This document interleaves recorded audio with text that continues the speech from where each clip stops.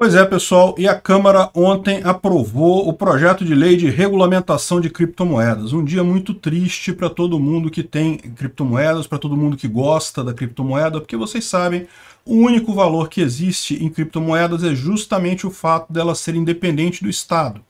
Mas vamos entender o que é essa regulamentação, o que ela afeta de fato, quais são as mudanças previstas e quem é que ganha e quem é que perde com isso? Essa notícia foi sugerida por Gustavo Vargas, duplo JP Costa e várias outras pessoas. Obrigado aí ao pessoal que sugeriu a notícia. Obrigado a você que está assistindo nosso vídeo. Se você gosta do nosso conteúdo, por favor, deixe o seu like e se inscreva aqui no canal, né? Pois bem, a Câmara, infelizmente, aprovou ontem. Eu tinha expectativa que isso ficasse para o ano que vem. A gente conseguiu adiar isso até depois das eleições. E a gente tinha expectativa que nesse final de ano não daria para votar nada, porque estaria todo mundo ocupado com orçamento e coisa e tal. Mas esse final de ano é sempre ruim, como eu expliquei para vocês. Esse final de legislatura é sempre trágico, porque os deputados não estão nem aí para o povo, vão aprovar qualquer coisa que seja do interesse deles, e é lógico o Estado quer comer dinheiro das criptomoedas, quer imposto em criptomoedas. Então eles certamente vão avançar sobre isso daí, como foi o caso. Né? Aprovaram o projeto de lei 4401, que era originalmente o 2303 é, de 2015, com a, a regulamentação das criptomoedas no Brasil. Né? E, e, infelizmente já foi aprovado, já foi aprovado no Senado também, então agora só cabe a sanção do presidente da República é, muito provavelmente o Bolsonaro vai sancionar, ou então vai deixar para o Lula sancionar, está no prazo ainda é, de sanção presidencial, né? Então, é, e depois disso, existem 180 dias para todo mundo se adequar às regras novas, e aí a lei entrará em vigor. Né? E quais que são as regras novas? Bom, basicamente, a única regra uh, mais significativa aqui é uh, a regulamentação vai ficar por parte da CVM e da, do Banco Central, é o mais provável nessa história, e as corretoras, as exchanges, são proibidas de serem fora do país. Só pode haver exchange registrada no Brasil, tem que ser aprovada pelo Banco Central, a exchange que trabalhar aqui no Brasil. Né? É lógico, a justificativa deles é que, ah, olha só, o pessoal perdeu dinheiro e coisa e tal, não sei o que lá.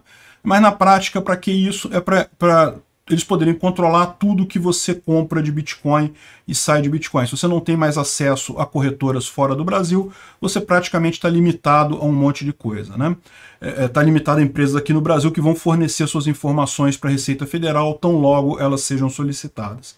Então, uh, realmente é uma coisa que é terrível isso daí.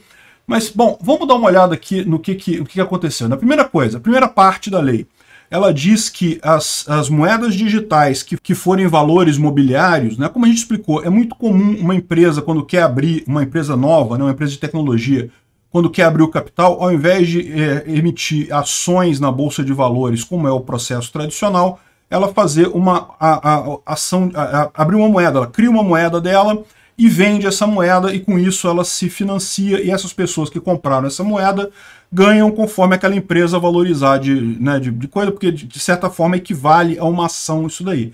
Tem várias empresas fazendo isso. Do ponto de vista libertário, isso é ótimo, perfeitamente funcional, porque isso permite justamente o um mercado acionário, uma, uma uh, um financiamento de empresas independentes do Estado, mas como era de se esperar, o Estado não gosta muito disso e está proibindo esse tipo de coisa. Né? Então, mais uma vez, a gente vai cair naquilo que aquelas moedas que têm coisa centralizada, elas fatalmente vão ser alvos de ação estatal. Né? Enfim, eh, a, a lei fala, logo aqui no iníciozinho, a lei é essa daqui, tá? Essa aqui foi a versão mais próxima da final que eu tenho. Então, lei, essa lei dispõe sobre diretrizes a serem observadas na prestação de serviço de ativos virtuais e na regulamentação das prestadoras de serviços de ativos virtuais. O disposto nessa lei não se aplica aos ativos representativos de valores mobiliários, que daí são regidos pela Comissão de Valores Mobiliários. Então, toda vez que tiver um ativo que a CVM entender que, na verdade, aquilo ali está escondendo uma ação da empresa, exatamente o caso que está acontecendo lá nos Estados Unidos entre a LBC da Library e a SEC, que é a CVM deles lá, é a, a competência pela lei brasileira agora é da CVM, a CVM que vai direcionar. Isso daí, vai colocar toda a burocracia, provavelmente similar a burocracia que você tem para emitir uma ação, e com isso vai simplesmente deixar de ser interessante você ter uma emissão de, eh, de moeda como forma de financiar a empresa. Né? Se é para ter toda a burocracia que você vai ter com a ação, você emite a ação de uma vez. É mais simples no final das contas. Né? Mas é lógico, lembra, eh, existe pelo menos uma vantagem muito grande de você emitir moeda ao invés de emitir ação, que é acesso ao mercado no mundo todo. Né? O mercado no mundo todo pode comprar imediatamente a sua moeda sem precisar de é, entrar numa bolsa que negocia aquela moeda sua. Mas, enfim, é, é, um problema, sem dúvida alguma. Deixa de ter valor a moeda por conta disso. Né? Aí o fato que ela fala aqui, uma outra coisa que eu já tinha apontado antes, olha só, para efeitos dessa lei, considera-se um ativo virtual a representação digital de valor que pode ser negociada ou transferida de meio eletrônico e utilizada para realização de pagamentos ou com propósito de investimentos não incluído moeda nacional e moedas estrangeiras. E aqui é a minha grande questão, porque o Bitcoin é a moeda de El Salvador, né? Então, na verdade, em tese, eu posso dizer que uma corretora exclusivamente de Bitcoin não estaria sujeita a essas regras aqui, porque, na verdade, ela seria, ela está transacionando a moeda de El Salvador. El Salvador tem o Bitcoin como uma moeda oficial do país, né? Mas isso daqui é o tipo da coisa. Eles vão falar, não, mas então tem, aí, aí tem que cair então na regulação de, é, de casas de câmbio de moeda estrangeira, que deve ser ainda pior no final das contas, né? A solução para o Bitcoin é aquela que eu falei. A partir daqui é muito pouco provável você usar alguma exchange. O pessoal libertário que quer ter Bitcoin, o caminho é peer-to-peer, -peer, é BISC, é esse tipo de, de, de exchange descentralizada, sem entrar nas exchanges formais aqui no Brasil. E mesmo assim tem que tomar cuidado, porque é, o que, que vai acontecer? Né? Por enquanto, é, o que a lei fala é isso. É, regulamentar ações que forem valores mobiliários é a CVM que vai fazer. O que não for um valor mobiliário vai ser uma, um, uma entidade da administração pública federal definido em ato do Poder Executivo. Então, ele está dizendo aqui que o governo federal vai decidir quem é que vai cuidar disso daí e já está combinado isso, vai ser o Banco Central. O Banco Central deve ter, deve abrir uma, uma, um órgão lá dentro, uma secretaria, alguma coisa que vai cuidar de criptomoedas. E aí que tá. Aí que tem que ver. Uma vez que esse órgão agora é responsável por fiscalizar, ele vai poder emitir um monte de coisas, um monte de, é, é, de portarias, de normas e coisa e tal. E aí nós temos que ver o que, que ele vai exigir em termos disso daí. Né? Você não pode descartar, por exemplo, legislação como a que está sendo colocada lá na Europa, da obrigatoriedade de você identificar uma carteira. Isso é uma coisa preocupante, tá? É, se você for obrigado a identificar a sua carteira, dizer que aquela carteira de bitcoins é sua, o governo pode monitorar muito facilmente isso daí. É lógico, não tem muito como o governo saber que aquela carteira é sua se você não falar para ele, mas ele, ele sempre pode encoxar você, tipo, ah, você transmitiu dinheiro dessa carteira para sua conta na Binance. Então, peraí, então essa carteira aqui é sua ou é de quem? Você é obrigado a dizer de quem que é aquela carteira, entendeu? Então, uh, esse tipo de coisa pode ser mais complicado daqui para frente. Transacionar com Bitcoin vai ficar mais arriscado para todo mundo no curto prazo, infelizmente. Né? Mas era esperado isso, como eu falei para vocês. É, é, nessa hora que vai separar o joio do trigo, é aquilo que eu falo. Né?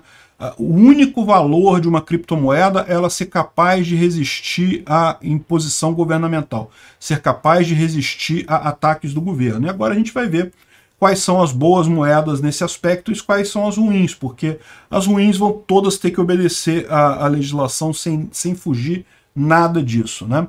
E, de novo, não dá para saber ainda exatamente o que vai ser. Por quê? Porque o, uh, o Banco Central que vai definir agora. Temos que ver como é que vai ser essa documentação do Banco Central uh, liberando isso. A única coisa que eles colocaram aqui é que só pode atuar no Brasil se tiver licença desse órgão é, o ato do Poder Executivo atribuirá um ou mais órgãos e compete ao órgão regulador indicado pelo Poder Executivo autorizar funcionamento, transferência de controle, fusão, cisão ou incorporação de prestadora de serviços de ativos virtuais. Então, exchange no Brasil, para operar no Brasil, precisa estar aqui no Brasil, precisa ser autorizada pelo Banco Central. Né? Isso, isso é lógico, algumas operadoras que já estão no mercado brasileiro comemoraram, e vamos poder foder agora o pessoal aqui no Brasil, não vai ter mais a concorrência de gente de fora, né? Só que é aquele negócio, a minha visão é que para mim basicamente acabou a era de usar a corretora para trocar Bitcoin, não, não tem mais como fazer isso.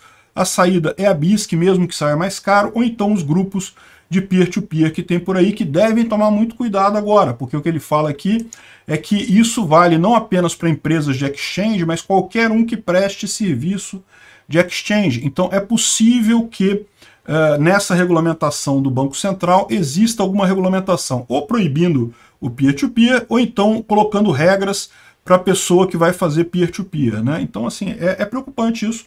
É certamente uma coisa complicada o que vai acontecer aqui. Né?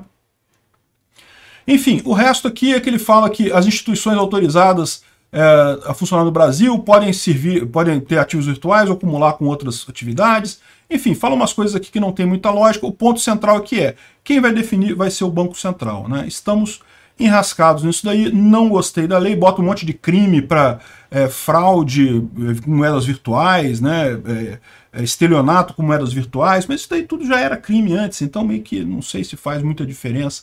Se tem um lado positivo nessa lei, é que ela coloca como zero a tarifa de alíquota de tributo sobre, por exemplo, é, ferramentas computacionais para mineração e preservação de ativos é, virtuais. Né? Então, em tese, você pode importar mineradora agora sem pagar imposto até 2029. É, é, tem um ponto positivo nisso daí. Né? É, é, não sei qual alíquota que estão pagando nesse momento, mas não vai ter alíquota até 2029 devido à aprovação dessa lei, é tão logo ela seja sancionada pelo presidente. Né? Enfim, é isso daí. Né? A gente sempre soube que o governo ia tentar castrar as criptomoedas. Né? Chegou a hora da verdade. Obrigado por assistir o vídeo até o final. Além de curtir, compartilhar e se inscrever no canal, considere se tornar patrocinador com valores a partir de R$ 1,99. Clique no botão Seja Membro abaixo para saber as condições e vantagens de patrocinar o canal. Mais informações sobre o nosso projeto, visite nossos sites indicados na tela.